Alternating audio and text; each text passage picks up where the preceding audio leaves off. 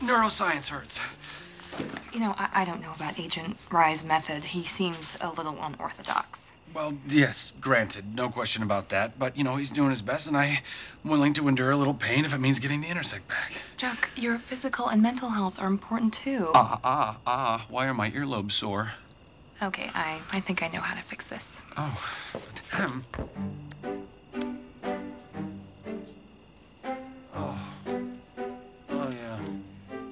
I should get beat up more often. Chuck, this, um, treatment, the experiments, promise me you're not doing it for me or us. No, no, I'm doing it for the team. No, I, I just, you know, I've never been a spy without the intersect, and I quite like being a spy. Doing great things, doing them with you, I want that back. You don't need the intersect to do great things. You're great on your own. But am I a spy?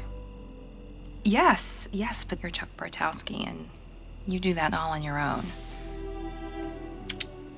Massage oil should be warm. I'll be right back.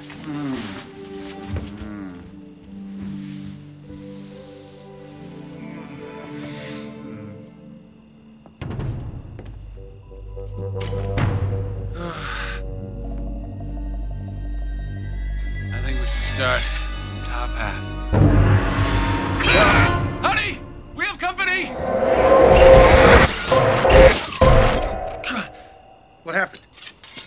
Flash?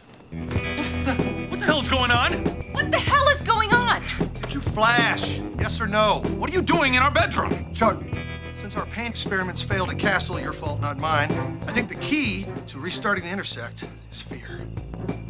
What are you doing in our home? Castle's a safety zone. Apparently, this place is too. Chuck feels protected by you. We need to up the ante again. PFOD. Pafod? Pure fear of death. We need uncut, pure, adrenalized fear rocketing through your plasma right now. This was close, but hey, that could be the cure.